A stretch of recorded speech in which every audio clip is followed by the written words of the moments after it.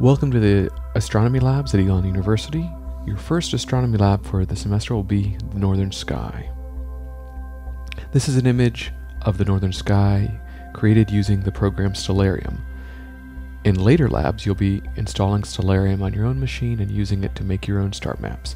For this first lab, we'll go ahead and just use this pre-created map.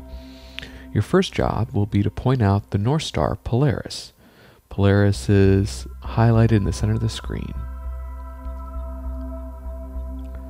Your next job will be to point out the stars in the constellation Cassiopeia.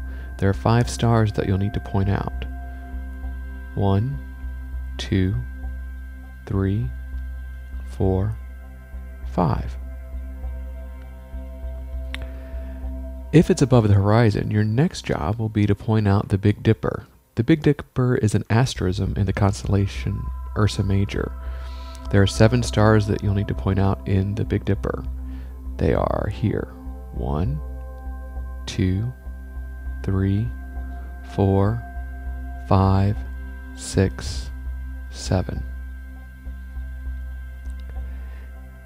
If the sky is situated such that Ursa Major isn't completely above the horizon, you may have to point out Cepheus instead. Uh, Cepheus has five stars in it. They are here one, two, three, four, five.